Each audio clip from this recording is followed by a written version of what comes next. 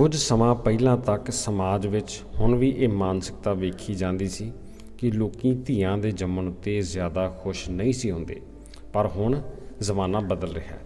ਹੁਣ ਧੀਆਂ ਹਰ ਵਰਗ ਵਿੱਚ ਮੁੰਡਿਆਂ ਤੋਂ ਅੱਗੇ ਵੱਧ ਕੇ ਆਪਣੇ ਮਾਤਾ-ਪਿਤਾ, ਇਲਾਕੇ ਅਤੇ ਦੇਸ਼ ਦਾ ਨਾਂ ਪੂਰੀ ਦੁਨੀਆ ਵਿੱਚ ਰੁਸ਼ਨਾ ਰਹੀਆਂ ਨੇ।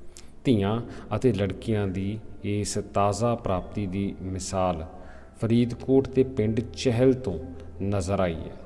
ਜਿੱਥੇ ਇੱਕ ਧੀ ਨੂੰ ਉਸ ਦੇ ਮਾਮੇ ਨੇ ਆਪਣੇ ਵਿਆਹ ਤੋਂ ਪਹਿਲਾਂ 13 ਦਿਨ ਦੀ ਹੁੰਦਿਆਂ ਆਪਣੀ ਗੋਦ ਲੈ ਲਿਆ ਸੀ ਅਤੇ ਉਸੇ ਧੀ ਨੇ ਹੁਣ ਆਪਣੇ ਮਾਮੇ ਸਮੇਤ ਪੂਰੇ ਨਾਨਕਾ ਪਿੰਡ ਦਾ ਨਾਂ ਪੂਰੀ ਦੁਨੀਆ ਵਿੱਚ ਚਮਕਾ ਦਿੱਤਾ ਹੈ। ਫਰੀਦਕੋਟ ਵਿੱਚ ਇਸ ਪ੍ਰਾਪਤੀ ਦੀ ਚਰਚਾ ਇਨੀ ਦਿਨੀ ਦੂਰੋਂ ਦੂਰੋਂ ਹੋ ਰਹੀ ਹੈ। ਗਰੀਬ ਪਰਿਵਾਰ ਨਾਲ ਸੰਬੰਧਿਤ ਇਸ ਲੜਕੀ ਜਿਸ ਦਾ ਨਾਮ ਹੈ ਗੁਰਸ਼ਰਨ ਕੌਰ ਉਸ ਨੇ ਗੋਆ ਵਿਖੇ ਹੋਈਆਂ ਰਾਸ਼ਟਰੀ ਖੇਡਾਂ ਵਿੱਚ ਕੁਸ਼ਤੀ ਮੁਕਾਬਲੇ ਵਿੱਚ ਸਿਲਵਰ ਮੈਡਲ ਹਾਸਲ ਕਰਕੇ ਭਾਰਤ ਵਿੱਚ ਦੂਜਾ ਅਤੇ ਪੰਜਾਬ ਵਿੱਚੋਂ ਪਹਿਲਾ ਸਥਾਨ ਹਾਸਲ ਕਰਕੇ ਮਾਣ ਵਧਾਇਆ ਹੈ।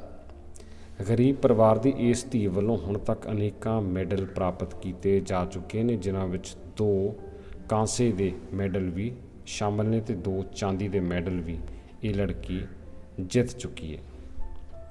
ਇਸ ਬੱਚੀ ਬਾਰੇ ਪਤਾ ਲੱਗਦਾ ਹੈ ਕਿ ਉਸ ਨੂੰ ਸ਼ੁਰੂ ਤੋਂ ਹੀ ਇਸ ਖੇਡ ਵੱਲ ਕਾਫੀ ਦਿਲਚਸਪੀ ਸੀ ਅਤੇ ਉਸ ਨੇ ਕੁਸ਼ਤੀਆਂ ਵਿੱਚ ਹੌਲੀ-ਹੌਲੀ ਅੱਗੇ ਵਧਣਾ ਸ਼ੁਰੂ ਕੀਤਾ ਤੇ ਮਿਹਨਤ ਤੇ ਲਗਨ ਨਾਲ ਤਿਆਰੀ ਕਰਦਿਆਂ ਉਸ ਨੇ ਬਿਨਾਂ ਨਾਗਾ ਇਸ ਖੇਡ ਦੀ ਤਿਆਰੀ ਕੀਤੀ ਹੈ।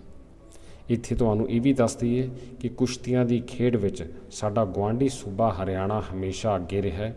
ਅਤੇ ਉੱਥੋਂ ਦੀਆਂ ਨੌਜਵਾਨ ਲੜਕੀਆਂ ਕੁਸ਼ਤੀਆਂ ਦੇ ਖੇਤਰ ਵਿੱਚ ਲਗਾਤਾਰ ਅੱਗੇ ਵਧਦੀਆਂ ਨਜ਼ਰ ਆਉਂਦੀਆਂ ਨੇ।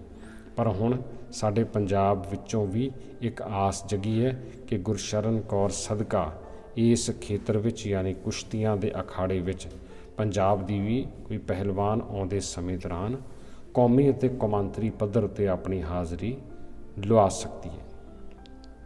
ਕੌਮੀ ਪੱਧਰ ਉੱਤੇ ਗੁਰਸ਼ਰਨ ਕੌਰ ਦਾ ਪਹਿਲਾ ਮੈਡਲ ਸਾਲ 2017 ਵਿੱਚ ਆਇਆ ਸੀ ਅਤੇ ਮੌਜੂਦਾ ਸਮੇਂ ਉਹ ਪੜ੍ਹਾਈ ਵੀ ਨਾਲੋਂ ਨਾਲ ਕਰ ਰਹੀ ਹੈ ਅਤੇ ਚੰਗੀ ਨੌਕਰੀ ਹਾਸਲ ਕਰਨ ਦੀ ਵੀ ਚਾਹਵਾਨ ਹੈ। ਉਸ ਨੇ ਹੁਣ ਤੱਕ ਮਿਲੀਆਂ ਸਹੂਲਤਾਂ ਲਈ ਆਪਣੇ ਪਰਿਵਾਰ ਦਾ ਅਤੇ ਆਪਣੇ ਰਿਸ਼ਤੇਦਾਰਾਂ ਦਾ ਵੀ ਧੰਨਵਾਦ ਕੀਤਾ ਹੈ, ਜਿਨ੍ਹਾਂ ਨੇ ਉਸ ਨੂੰ ਖੇਡਾਂ ਦੇ ਖੇਤਰ ਵਿੱਚ ਅੱਗੇ ਵਧਣ ਲਈ ਹਮੇਸ਼ਾ ਪ੍ਰੇਰਿਆ ਹੈ।